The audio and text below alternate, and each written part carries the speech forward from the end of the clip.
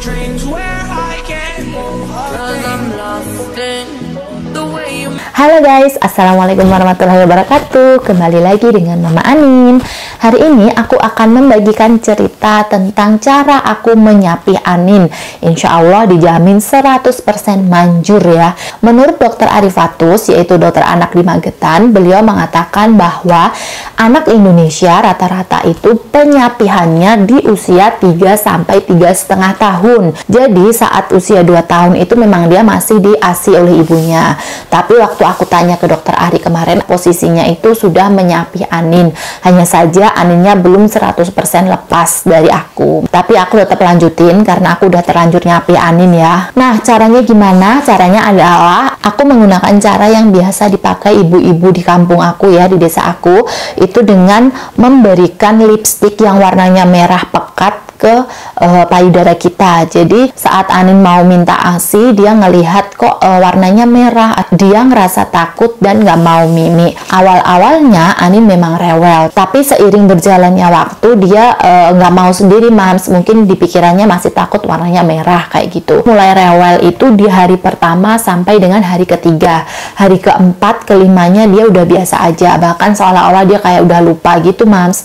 Nah, gampang banget kan? Kemudian saat tengah malam sekitar jam 12 jam 1 kayak gitu biasanya aku kasih dia susu formula kurang lebih 120 ml agar dia nggak kehausan kan karena biasanya tengah malam itu Anin minta ASI ternyata saat kita proses menyapih anak ini ada efek yang uh, aku rasakan sendiri mams gimana dada itu rasanya kayak kencang, penuh, dan agak nyeri. Itu karena ASI yang ada di dalam payudara kita kan terus produksi nih.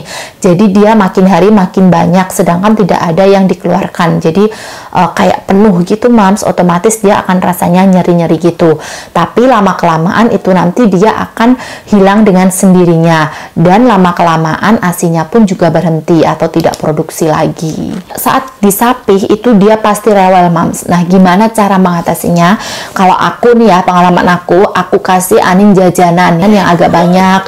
Kemudian aku kasih susu formula yang lebih terus susu kotak juga mams karena Anin suka banget minum susu kotak makanya aku sediakan di rumah susu kotaknya banyak. Selain itu aku juga menyediakan mainan yang Anin suka agar pikirannya Anin teralihkan. Jadi dia fokusnya lebih kayak makan jajan minum susu terus main. Kayak gitu mams saat kita menyapi anak pasti ada efeknya dong. Tak ada dampak positif positifnya. Kalau sepengalaman saya, Anin nafsu makannya lebih banyak, bisa 2 sampai 3 kali lipat, Mams. Karena makanannya semakin banyak, jadi berat badan Anin pun juga mengikuti, Mams. Anin berat badannya jadi gampang naik. Biasanya Anin susah banget karena dia memang tergolong anak yang agak susah makan. Nah, selain itu, Mams, konsumsi susu formulanya kan semakin bertambah. Otomatis kebutuhan dari susu formula pun juga semakin banyak. Biasanya susu formula 1,5 kilo itu buat satu bulan. Nah ini cuman buat setengah bulan. Jadi dua kali lipat ya mams. Uh, karena Anin minumnya juga makin sering. Saat aku tinggal pun aku juga ngerasa lebih tenang ya karena Anin kan sudah nggak uh, aku kasih asi jadi dia udah nggak tergantung nih sama aku. Kalau dulu sebelum aku sapeh itu uh, kalau keluar keluar itu nggak bisa lama. Jadi harus buru-buru pulang karena takutnya dia kan nyariin aku. Selain cara yang aku sebutkan tadi sebenarnya ada beberapa cara yang diterapkan orang-orang atau ibu-ibu di kampung aku yaitu dengan mengolesi makanan yang pahit. Contohnya yang sering dipakai itu adalah mahoni. Jadi saat anak mau minum ASI, itu kan dia lidahnya kerasa pahit, akhirnya e, menolak atau dia e, nggak mau. Gitu. Lama juga akan tidak mau sendiri. Ada beberapa orang yang dia pakai kunyit, kemudian pakai warna-warna lain tapi yang bahannya alami ya agar aman untuk anak. Ada juga ibu-ibu yang menutup e, payudaranya itu dengan plester. Jadi seolah-olah itu hilang kayak gitu mams. Agak aneh sih tapi emang manjur. Ada tetangga aku yang kayak gitu dan dia uh, dua hari aja udah lupa dengan uh, ASI jadi dia selalu minum susu formula. Kemudian ada lagi yaitu dengan mengolesi bahan-bahan yang berbau sedikit menyengat.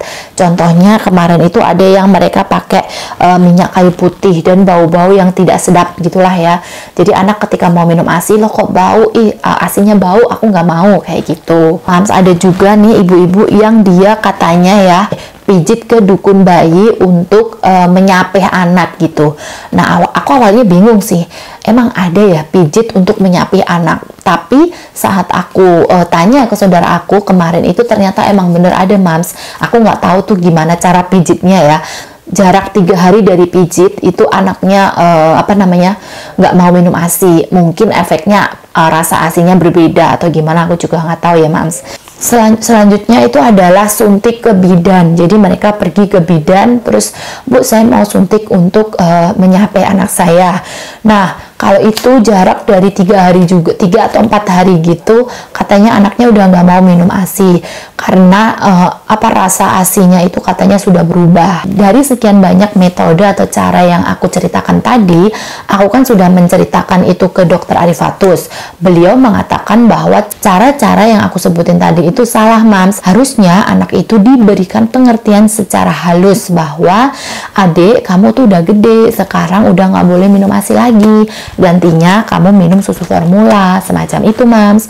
Karena ketika kita memaksakan untuk menyapi anak kata beliau sih itu mengganggu psikisnya anak. Mungkin dia uh, di alam bawah sadarnya itu kayak seolah-olah aku menyakiti orang tua aku semacam itu. Tapi pada prakteknya di kampung aku ini itu masih sangat umum banget mams dan banyak banget yang pakai sampai detik ini.